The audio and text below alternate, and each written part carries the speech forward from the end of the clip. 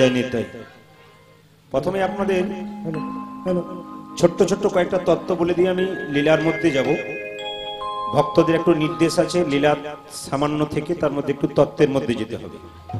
তারপর দ্বিতীয় প্রশ্ন হচ্ছে, আপনারা যে সময় কীর্তন আরম্ভ করলেন, সে সময়টা অসময়, বিশেষ করে বর্ষাকালের দিনে। সন্ধে সাতটা থেকে আরম্ভ করলে একটু সময় দেওয়া যায়, আর যত রাত্রি হবে তত তো ঘুম পেলে নিতাই গৌর হরিবল হয়ে যাবে।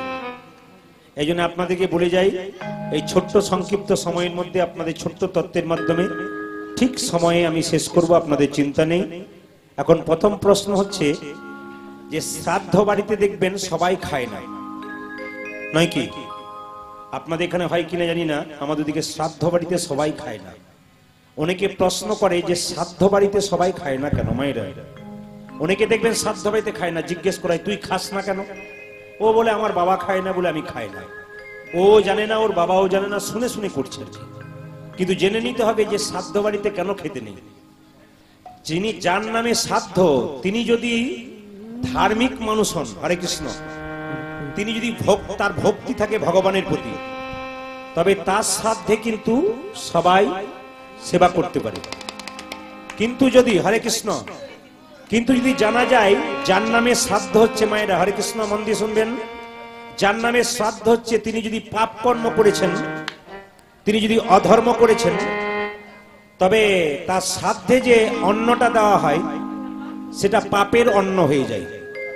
তাহলে আপনারা প্রশ্ন করবেন, আমরা চিনব কি করে যে শ্রাদ্ধ বাড়িতে কে পাপ করেছে আর কে ধর্ম করেছে? এই জন্য যারা শ্রাদ্ধ করায়, শাস্ত্র বলছে তাদের নিয়ম হচ্ছে যে যার নামে শ্রাদ্ধ সেই শ্রাদ্ধের সময় ভগবানের প্রসাদ দিয়ে দিতে হয়। যদি ভগবানের প্রসাদ দিয়ে শ্রাদ্ধ করা যায়, তাহলে সেই শ্রাদ্ধে সবাই খেতে পারে। এবার আপনারা ধীরে, কথা নয়। আস্তে। ধীরে, কথা নয়। কীর্তন চলাকালীন কোনো কথা নয়, ইশারার দ্বারা কথা বলে বলুন। হরে কৃষ্ণ এইদিকে তাকাবেন মায়েরা। যার নামে শ্রাদ্ধ সেই শ্রাদ্ধে যদি আপনারা ভগবানের প্রসাদ দিতে পারেন, তবে সেই শ্রাদ্ধে কিন্তু সবাই খেতে পারে। এবারে প্রশ্ন করবেন, যিনি ব্রাহ্মণ শ্রাদ্ধ সারিয়ে গেলেন শ্রাদ্ধে যে ভুজ্জিটা দেওয়া হয়, সেই ভুজ্জিটা তো সে দোকানে বিক্রি করে দেবে। তারপর তো কেউ কিনে খাবে। তাহলে সে যদি পাপি হয়, তাহলে সে চাল কিনে খেলে, তারও পাপ হবে। বলছেন না। শ্রাদ্ধের চাল যদি বাজারে, দোকানে বিক্রি করা হয়, যখন মূল্য দিয়ে বিক্রি হয়ে যায়, তখন কিন্তু সেই চালটা শুদ্ধ হয়ে যায়। এবার আপনারা প্রশ্ন করবেন শ্রাদ্ধে যিনি যার নামে শ্রাদ্ধ তিনি যদি পাপী হন, তার শ্রাদ্ধে খাবার খেলে আপনাদের কি হবে? আপনাদের ভেতরে পাপ কাজে লিপ্ত থাকার মনোবৃত্তিটা তৈরি হয়ে যাবে। একটা প্রমাণ দিয়ে দিই, দেখবেন যারা প্রকৃত সাধুগুরু বৈষ্ণব, তারা সবার বাড়িতে খায় না। তো একজন বৈষ্ণব রাস্তা দিয়ে যেতে যেতে একটা গ্রামে পৌঁছেছে, ওখানে অন্ধকার হয়ে গেছে, গ্রামে ঢুকে একজন ব্রাহ্মণকে বলছে, আপনার বাড়িতে আজকে আমার বাসা হবে? বলে, আমার বাড়িতে খুব একটা জায়গা নেই, আমার এখানে একটা কৃষ্ণের মন্দির আছে, সেই মন্দিরে তুমি থাকতে পারো। তবে রাত্রিবেলায় রান্না টান্না করে তোমাকে দেবো, তুমি সেবা করতে পারো। বৈষ্ণব বলল, না, আমি যাত্রার হাতে খায় না। কে দীক্ষিত, অদীক্ষিত আমি জানতে পারি না। তবে আমাকে চাল ডাল এনে দিন, আমি কিন্তু আপনার চাল ডাল দিয়ে প্রসাদ তৈরি করে সেবা পাবো। এখন বৈষ্ণব কি করেছে মায়েরা? রাত্রিবেলায় প্রসাদ তৈরি করেছে, প্রসাদ তৈরি করে সেবা করেছে আর যখন ভোরবেলা হয়ে গেছে, বৈষ্ণবের নিয়ম হচ্ছে আমাদের মতো সাতটার সময় ওঠে না, সূর্যোদয়ের পরে ওঠে না, তার নিয়ম হচ্ছে ভোরবেলায় উঠে যাওয়া এবং ভগবানের ভজন আরতি করা, মঙ্গল আরতি করা। সেই বৈষ্ণব যখন ভোরবেলায় উঠে গেছে, তখন যে কৃষ্ণের মন্দিরে ছিল, সেই কৃষ্ণের মন্দিরের দরজাটা খুলে কৃষ্ণকে প্রণাম করতে গেছে। কৃষ্ণের শরীরে যে সোনার গহনাগুলো ছিল, সব গহনা চুরি করে ঝোলাতে পড়ে নিয়েছে। এখন চুরি করে সে ভোরবেলায় চলে গেছে। সকাল সাতটার সময় যখন ব্রাহ্মণ মন্দির খুলছে, মন্দির মার্জন করবার জন্য, তখন দেখছে তার কৃষ্ণের শরীরের একটাও গহনা নেই। এখন মনে মনে ভেবে নিয়েছে যে সেই ব্রাহ্মণী সেই বৈষ্ণবী চুরি করেছে। এখন বৈষ্ণব তখন প্রায় পাঁচ কিলোমিটার হেঁটে চলে গেছে। পাড়া প্রতিবেশীর লোককে সব চিৎকার করে ডাকলো, ব্রাহ্মণ, আমার মন্দিরে একজন বৈষ্ণব কাল রাত্রিবেলায় ছিল। সেই বৈষ্ণব মন্দিরে প্রভুর গহনাগুলো সব চুরি করে নিয়ে চলে গেছে। কিন্তু কিছু দূর গিয়ে, পাঁচ কিলোমিটার গিয়ে হঠাৎ বৈষ্ণবের মনে পড়ে গেছে, এ আমি কি করলাম? এ কাজ তো আমি কোনোদিন করি না, কারও তো অন্যায় করি না, কাউকে খারাপ কথা বলি না। আমি ভগবানের শরীর থেকে গহনাগুলো চুরি করলাম কি করে? মনের মধ্যে বিবেকটা বারবার ধাক্কা দিচ্ছে, তখন সে ছুটে এলো আবার কার কাছে? সোজা সেই ব্রাহ্মণের কাছে। ব্রাহ্মণ, আমার অন্যায় হয়ে গেছে। পাড়া প্রতিবেশীর লোক তাকে বারবার করে নানা রকম খারাপ কথা বলতে লাগল। ব্রাহ্মণ বলল, দাঁড়াও, উনি যখন এসেছেন ঘুরে, ব্যাপার কিছু আছে। সঙ্গে সঙ্গে বৈষ্ণব বললেন, আমি শুধু একটাই প্রশ্ন করতে চাই, যে আমাকে কালকে রাত্রিবেলায় যে চাল ডালটা দেওয়া হয়েছিল, সেটা ব্রাহ্মণ আপনি কোথায় পেয়েছিলেন? তো ব্রাহ্মণ বলল, আমি শ্রাদ্ধের কাজ টাজ করেছিলাম কদিন আগে, তো সেই জন্য একটা ভুজি পেয়েছিলাম, সেই চাল ডাল আপনাকে দিয়ে দিয়েছিলাম। বলে, ভালো করে খবর নিয়ে দেখুন তো, যার নামে শ্রাদ্ধ ভুজি চালটা এনেছেন, তিনি কেমন লোক ছিলেন? তিনি খবর নিয়ে দেখলেন, তিনি একজন পাক্কা চোর। চোরের খাতাতে তার বড় করে নাম লেখা আছে। চোরের সাধ্যে চাল এবং ডাল খাওয়ার জন্য তার মধ্যে চৌর্য বৃত্তি জেগেছে। এই জন্য নিয়ম হচ্ছে কি জানেন যার নামে শ্রাদ্ধ তিনি যদি পাপ কাজ করেন তবে সেই পাপ কাজের শ্রাদ্ধের প্রসাদ যদি আপনারা পান তবে কিন্তু নিতাই গৌর হরি বল আপনাদের মধ্যে কিন্তু সেই পাপ। এই জন্য শ্রাদ্ধ বাড়িতে দেখবেন সবাই খায় না।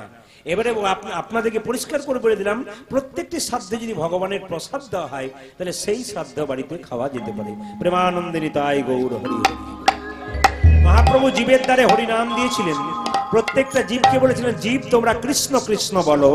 যাকে তাকে দেখেছে আর মহাপ্রভু নাম দিয়েছেন তোমরা কৃষ্ণ কৃষ্ণ বলো তোমরা কৃষ্ণ কৃষ্ণ বলো তোমরা কৃষ্ণ কৃষ্ণ বলো মুখে তোমরা কৃষ্ণ কৃষ্ণ বলো।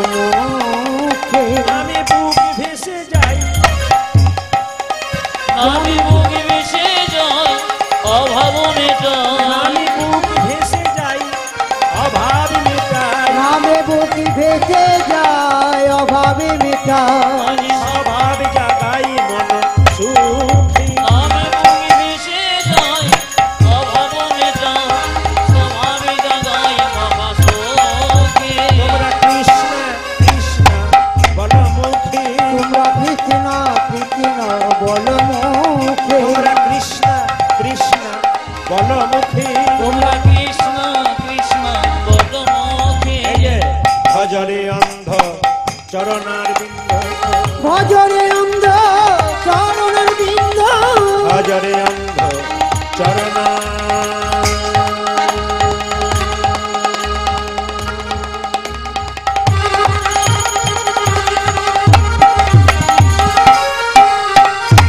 ভজরে অন্ধ চরণার বিন্দ মায়া বিপাকে চরণ বাঁকি পাখি দুস্তর এ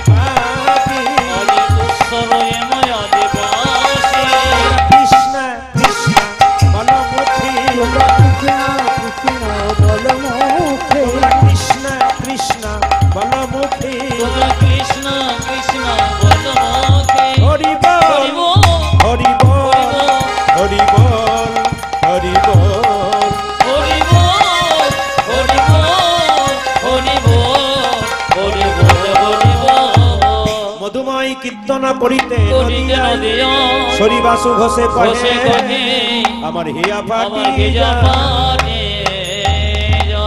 চলুন আমরা মধুরসে বৃন্দাবনে পৌঁছাবো। একটু হাততালি দেবেন প্রভুর নামে। সবাই মিলে একটু তালি দেবেন। যার হাত আছে তিনি তার না না গান হোক তারপর। কড়াইয়ের মধ্যে তেলটা দেবেন পাঁচ ফ্রং দেবেন তবে তো খন্তাটা নাড়াবে এই জন্য গানটা হতে হতে আপনারা সবাই প্রেম সে হাততালি দিয়ে চলুন বৃন্দাবনে যাই। কৃষ্ণ বলে বাহু তুলে, প্রেম সে সবাই মিলে। আনন্দে। হাত তুলুন সবাই, হাত তুলুন। দাদা, যার হাত আছে তিনি তুলবেন, যার নাই তার তোলার দরকার নেই। এর মধ্যে দু চারজন বুঝতে পারে না, আপনাদের দেখছে এরকম করে তাকাচ্ছে, আমাদের পাড়া থেকে যারা এসছে তারা তুলেছে এই জন্য দেখবেন না, আপনি আপনার কাজ করুন, আপনার পথটা পরিষ্কার করুন, কে কি করল দেখে লাভ নেই। আরে, দেখুন, এ কোনোদিন তুলে না, এও পর্যন্ত তুলছে। প্রেম সে নিতাই গৌর। হরি বল হরি বল প্রেম সে রাধা রানী কি? জয়, একটু জোরে বলুন রাধা রানী কি? জয়, শ্যাম সুন্দর কি? পেছনে আছে তারা বলছে তো আপনারা দেখে নেবেন আপনি শ্যাম সুন্দর কি? প্রেম সে। কৃষ্ণ বলি কৃষ্ণ বলে। আনন্দে দিন কাটালে সারা জীবন আনন্দে যাবে। আর গালে হাত দিয়ে চিন্তা করলে সারা জীবন আপনার চিন্তাতেই কাটবে। ভগবানের আরেক নাম হচ্ছে আনন্দময়। তাই আনন্দময়ের জায়গাতে সে একটু আনন্দ করে যান। বলা তো যায় না করোনা কাছাকাছি এসেছে।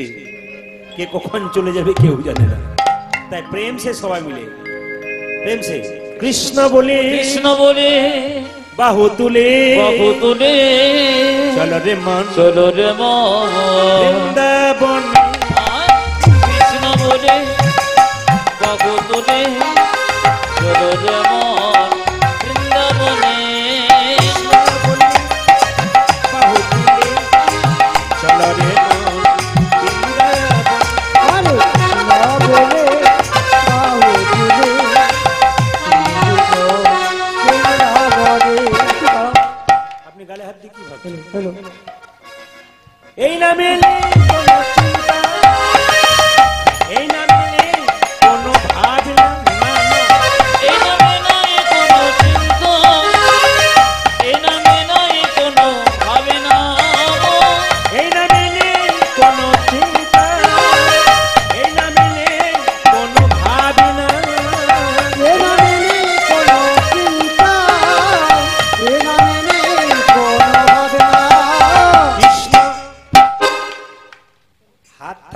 চালি তালি দেবে না, পরের জন্মে হাত পাবার সুযোগ তার নাই।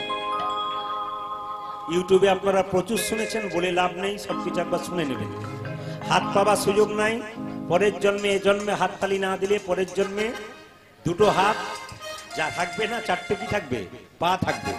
এই জন্য যারা চারটা পা পাবেন, তারা হাত চারটা পা মানে বুঝতে পেরেছেন? চারটা যারা পা পাবেন, তারা হাততালি দেবেন না।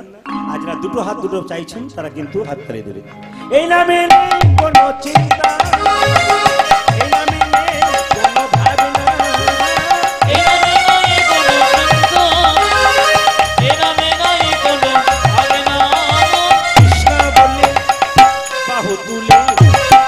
চলো রে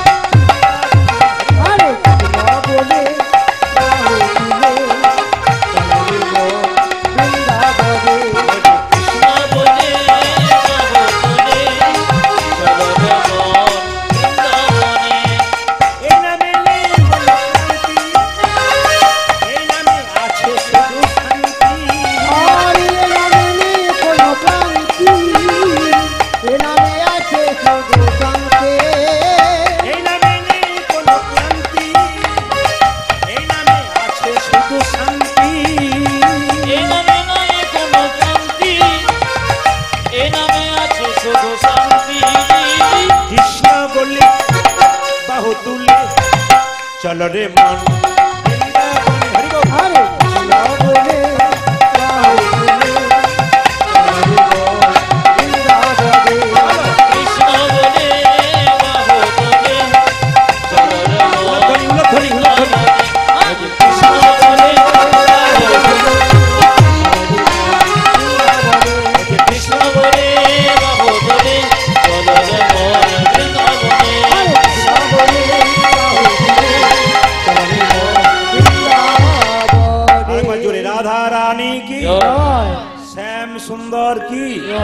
মদন মোহন কি? যার নিমিত্তে কীর্তন হচ্ছে, তার জন্য আপনারা ভগবানের কাছে প্রার্থনা করুন, তার আত্মার যেন শান্তি হয়। আসুন। লীলা অলেগ্ন কবি বলেছিল, ছোট্ট করে লীলাটিকে রেখে তত্ত্বের মধ্যে যাই। ভগবান শ্রীকৃষ্ণ মথুরাই গেলেন, মায়েরা। তিনি বৃন্দাবন ছেড়ে মথুরাই গেলেন কেন? পেছনে যারা চিৎকার করছে, বাচ্চাদের বন্ধ করান চিৎকার।